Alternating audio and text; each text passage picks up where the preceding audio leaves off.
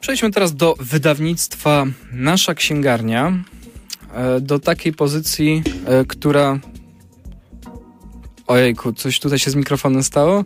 Tak, e, nasza księgarnia działa. Szymon się spytał tutaj poza, poza, e, poza radiem, czy nasza księgarnia jeszcze działa. Tak, działa i wydaje e, m.in. komiksy Fistaszki, ale również taką serię polską Hej Jędryk. Autorami są Rafał Skarżycki oraz Tomasz Lefleśniak.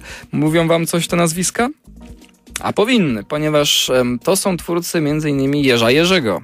Tak, pamiętacie pewnie film kinowy Jerza Jerzego albo komiksy ze Ślizgu, gdzie to Jerz e, właśnie na desce jeździł ubrany w czapeczkę z daszkiem e, i tam miał właśnie swoje przygody, ale również e, ten duet jest odpowiedzialny za taką pozycję jak Tymek i Mistrz. Nawiasem mówiąc, trwają prace nad animacją, chyba nawet już jeden odcinek wyszedł pod, spod tego tytułu, ale również Jerzy Jerzy miał swoją odsłonę dla dzieci.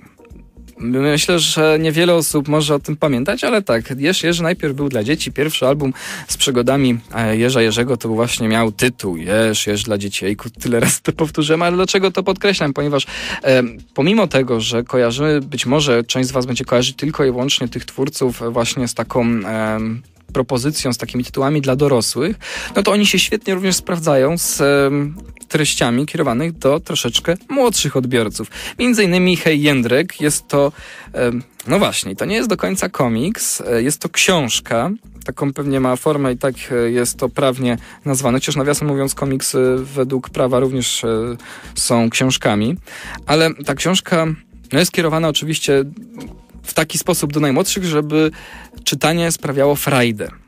No bo nie ukrywajmy, książki, zwłaszcza lektury szkolne, które są nam wciskane już e, od czasów szkolnych, no nie charakteryzują się tym, że są to bestsellery. Są pozycje, które owszem, mają swoje wartości, nie umniejszają im, ale e, no czasem trzeba naprawdę zacisnąć e, w wziąć się w garść, żeby przysiąść i skończyć jedną czy dwie lektury. Także myślę, że książki nie są zbyt popularne wśród najmłodszych, wśród 10-11-latków. No nie chcę tutaj generalizować, ale e, z tego co pamiętam, to jednak większość moich znajomych w czasie wolnym nie sięgała właśnie potwory papierowe.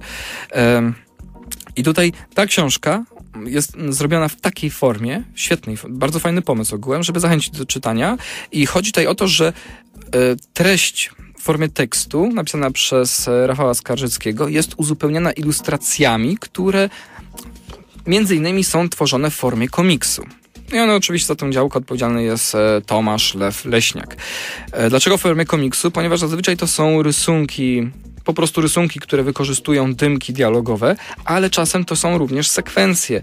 Dwa, trzy kadry e, i w tym momencie to już jest komiks. Także to jest też ciekawe zjawisko. Nie wiem, jak to oficjalnie fachowo to nazwać, ponieważ jest to książka, która wykorzystuje ilustrację jako e, środek do opowiadania historii, że musimy czytać te ilustracje, żeby uzupełnić sobie treść opowiedzianą w formie słowa.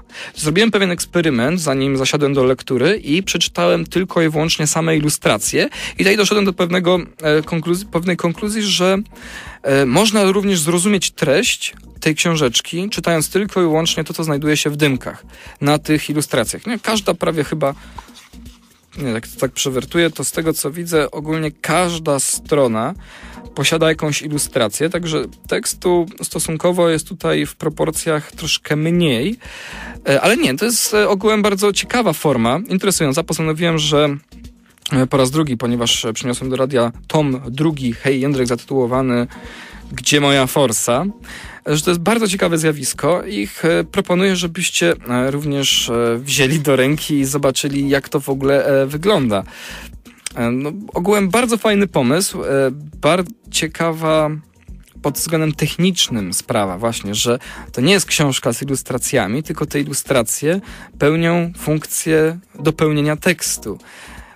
Bardzo ciekawy, e, ciekawy wątek. Ale o czym jest ta książka? O czym jest ta historia? Ogółem Hej Jędrek, znaczy Hej Jędrek, Jędrek, główny bohater, jest to dziesięciolatek, taki spryciarz, e, urwis troszkę, ale o dobrym sercu. No taki no, normalny chłopak, który ma swoje tam ambicje, jest takim spryciarzem, ale nie jest oczywiście zły, przesiąkniętym e, hultajem. w każdym razie rozpoczyna swoją przygodę w tym tomie pewnym marzeniem, ponieważ oczka mu się świecą, kiedy pomyśli o nowej konsoli przenośnej do gier. E, czy tutaj w ogóle jakaś nazwa padła? No nie, no nie padła, ale na takiego nowoczesnego Gameboya w ten sposób. Ja też się nie orientuję w tych konsolach przenośnych, to więc ja pamiętam Gameboye. W każdym razie, no jest to sprawa dosyć droga, więc kombinuję skąd wziąć pieniądze.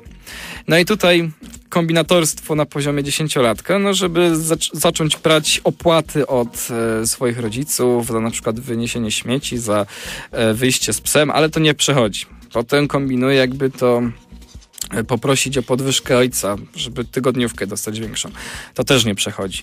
Potem kombinuje, żeby od swoich kumpli coś pożyczek, ma, pożyczyć. Ma swoich e, dwóch ziomali, Gruby i Witek, ale również oni też nie, no nie są, e, nie pływają w mamonie. Ale no i tutaj wydawałoby się, że historia będzie polegać na tym, jakby tutaj zarobić pieniądze, ale Rafał Skarżycki robi taki zwrot w akcji polegający na tym, że wpycha Jędrka naprawdę w wielką masę problemów. Po prostu w pewnym momencie wszystko się wali, ale na każdej płaszczyźnie życia tego malucha. No w pewnym momencie tak sobie pomyślałem, kurczę, no Rafał, czy ty nie przesadzasz czasem? No, biedne, biedne dziecko. Nie dość, że nagle szkolni tej hultaje, penerstwo, zaczyna brać opłatę za ochronę, no to jeszcze dochodzą pewne inne problemy, oczywiście wszystkie finansowe i w, wszystko jakby kulminuje się w momencie, kiedy mały Jędrek chce pomóc swojemu ojcu, ponieważ jego ojciec prowadzi warsztat i naprzeciwko tego warsztatu e, nagle będzie budu- zaczął się budować e, budynek, w którym ma być jakaś filia innego warsztatu, który ma mnóstwo placówek w całym kraju i może sobie ogółem obniżyć tak ceny, żeby wyniszczyć konkurencję. Także ogółem e, tutaj wizja jest e, przyszłości no, malowana w bardzo szarych barwach, ponieważ no, tutaj dochodzi, dojdzie do sytuacji, kiedy no, głowa rodziny, ojciec, no straci po prostu pracę i będą musieli się wyprowadzić, on pożegnać swoich kumpli, no po prostu tragedia. Już pomijam problemy szkolne z nauczycielami, z kolegami, no to w tym momencie, czy z siostrą, bo jeszcze Jędrek ma siostrę, no to w tym momencie tu jest naprawdę gruba sprawa. Warto jeszcze zaznaczyć, że mamą Jędryka jest policjantka. Urwę tutaj w tym momencie oczywiście e, informowanie o czym jest ta, o czym jest scenariusz tego, tej książki. Oczywiście tylko po to, żebyście mieli e, również przyjemność z poznawania tej lektury, ale wszystko oczywiście dobrze się kończy. Przypominam, że to jest książka kierowana do, do najmłodszych, także no musi się tutaj skończyć. Nie ma E, żadnych takich treści niepożądanych. E, to też myślę, że wydaje jest bardzo ważną informacją. Jest bardzo fajny, młodzieżowy sposób napisana. Rysunki Tomka leśniaka, no to są, no, myślę, że kojarzycie Jerza Jerzego. To jest taki jego charakterystyczny, no styl jest charakterystyczny, ale e, rysunki w jego stylu, także również e, bardzo szybko przyzwyczajamy się do tej szaty graficznej, która jest bardzo przyjemna dla oka, jest taki właśnie swojski, estetyczny kartun. Ale taka ciekawostka, która powinna zaintrygować wszystkich potencjalnych czytelników, to to, że każdy z tych, e, każda z tych historii, przynajmniej póki co, pierwszy, drugi tom, to tak naprawdę kryminały. A jestem przekonany, że miłośników kryminałów jest tak naprawdę bardzo, bardzo dużo.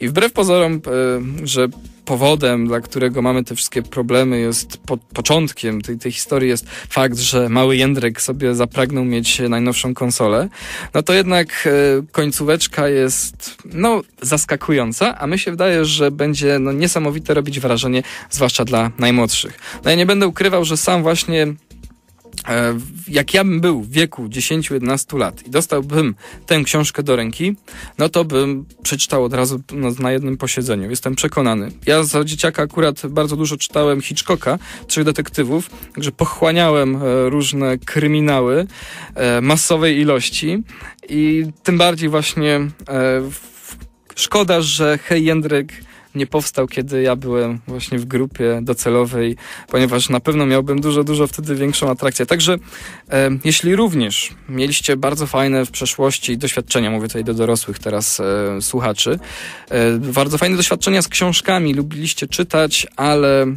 ciężko było zaproponować, znaleźć coś fajnego, no to w tym momencie Hej Jędrek z wydawnictwa Nasza Księgarnia jestem przekonany, że jest to strzał w dziesiątkę i wasi najmłodsi, tudzież, e, nie wiem, e, dzieci, brata, siostry, kuzyni będą naprawdę bardzo zadowoleni, jeśli dostaliby chociażby e, Hej Jędrek książkę w prezencie. Oczywiście z wydawnictwa Nasza Księgarnia.